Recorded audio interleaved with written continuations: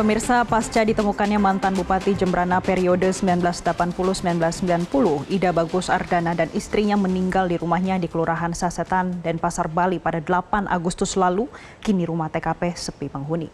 Pintu gerbang terkunci dan terpasang garis polisi. Sejumlah kerabat almarhum sempat mendatangi rumah TKP, di antaranya Imade Karas, salah seorang teman dari masa kuliah di Universitas Jember, Jawa Timur. Karas mengatakan terakhir bertemu Ida Bagus Ardana sekitar tiga bulan yang lalu dan mengetahui almarhum kondisinya sakit di sebelah kakinya.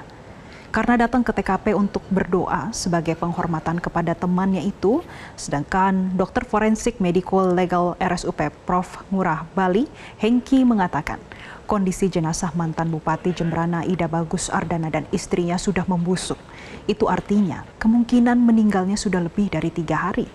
Dengan kondisi itu, pihaknya mengakui hasil forensik yang dilakukan tidak bisa maksimal, namun terkait kemungkinan adanya kekerasan berat bisa diketahui dari kondisi tulang remuk atau patah.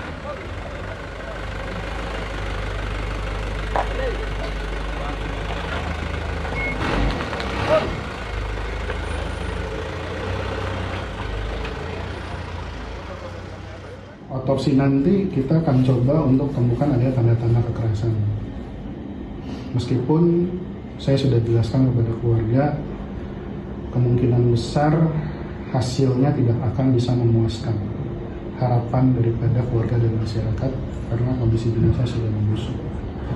Artinya tidak mungkin kita bisa mendapatkan informasi sama seperti pada saat jenazah masih segar. Sehingga yang bisa kita temukan adalah tanda-tanda kekerasan yang nyata, seperti misalnya adanya patah tulang itu yang akan kita fokuskan untuk mencari pada Jelajahi cara baru mendapatkan informasi. Download Metro TV Extend sekarang.